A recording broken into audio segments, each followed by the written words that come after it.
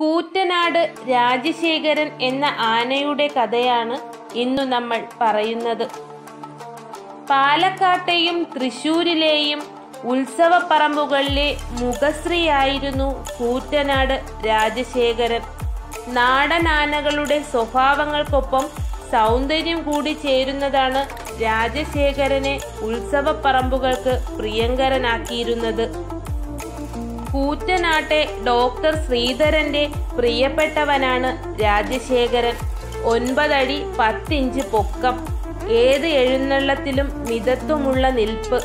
നല്ല വിരിവുള്ള മുഖവും മുഖശ്രീയും. ഒത്ത ശരീരം. ഇതൊക്കെയാണ് രാജശേഖരനെ ആനക്കമ്പക്കാരുടെ പ്രിയതാരമാക്കുന്നത്. നല്ല വെളുപ്പ് നിറമുള്ള പതിനെട്ട് നഖങ്ങൾ നല്ല ഇടനീളം എന്നിവയും രാജശേഖരന്റെ പ്രത്യേകതകളാണ്. തിരുവേഗപ്പുറം മഹാദേവ ക്ഷേത്രത്തിൽ നിന്നുള്ള ഗജരാജപ്പട്ടം ഇതിനകം രാജശേഖരന് ലഭിച്ചിട്ടുണ്ട്. മണ്ണാർക്കാട് പാലോട് തറവാട്ടുകാരുടെ കയ്യിൽ നിന്നാണ് കൽപ്പറ്റ നീലികണ്ഠി ഹാജിയാർക്ക് രാജശേഖരനെ ലഭിക്കുന്നത്. ഹാജിയാർക്കൊപ്പം കഴിയുമ്പോൾ ഇവൻ ഹമീദ് ആയിരുന്നു. ആയിരത്തി തൊള്ളായിരത്തി എൺപത്തിരണ്ടിലാണ് ഡോക്ടർ ശ്രീധരൻ ആനയെ വാങ്ങുന്നത്. രാജശേഖരനെ കൂടാതെ മധു ശിവൻകുട്ടി എന്നിങ്ങനെ രണ്ട് നാടൻ ആനകൾ കൂടി ഡോക്ടർ ശ്രീധരന്റെ ഉടമസ്ഥതയിൽ ഉണ്ടായിരുന്നു. രണ്ടും രണ്ടായിരത്തി പതിനാറ് മെയ് മാസത്തിൽ ചരിഞ്ഞു. കൂറ്റനാട്ടെ പയ്യട തറവാട് വീടിനു മുന്നിൽ നിറപറയും നിലവിളക്കുമായി സ്വീകരിച്ചിരുത്തിയ ആനയ്ക്ക് ഡോക്ടർ ശ്രീധരന്റെ അമ്മ പാറുക്കുട്ടി അമ്മയാണ് പേരിട്ടത്. വീട്ടുകാരോട് ആന തികഞ്ഞ ഇണക്കത്തിലായിരുന്നു കഴിഞ്ഞിരുന്നത്.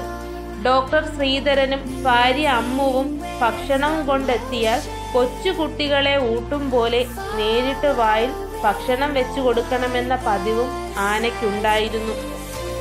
കർക്കടക മാസത്തിലാണ് രാജശേഖരൻ പതിവായി നീരിലാകുന്ന സമയം.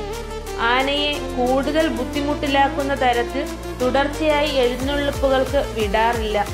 തൊണ്ണൂറുകളിലെ ആനകൾക്ക് സഞ്ചരിക്കാൻ പ്രത്യേക വാഹനം ആദ്യമായി രംഗത്തെത്തിച്ചത് ഡോക്ടർ ശ്രീധരനാണ്.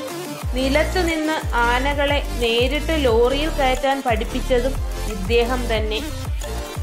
അവസാന കാലമായപ്പോൾ തുമ്പിക്കൈക്ക് തിരുവമ്പാടി രാമഭദ്രൻ ആനയെ പോലെ ശേഷിക്കുറവ് വരികയുണ്ടായി. തീറ്റയെടുക്കുമ്പോൾ കയ്യിൽ നിൽക്കാതെ വന്നപ്പോഴാണ് ഇത് ശ്രദ്ധയിൽപ്പെടുന്നത്. അതിനുശേഷം ആന മിക്കവാറും തുമ്പി ഇഴച്ചിടാൻ തുടങ്ങി. ആനയ്ക്ക് ചികിത്സ നൽകിയിരുന്നു. പക്ഷേ വിധി ആനയ്ക്ക് ഇരണ്ടക്കെട്ട് വരികയും ആന ചെരിയുകയും പെട്ടെന്നായിരുന്നു. രണ്ടായിരത്തി പന്ത്രണ്ടിലാണ് ആന ചെരിയുന്നത്. ചെരിയുമ്പോൾ രാജശേഖരന് അൻപത് വയസ്സിനടുത്ത് പ്രായം കാണും.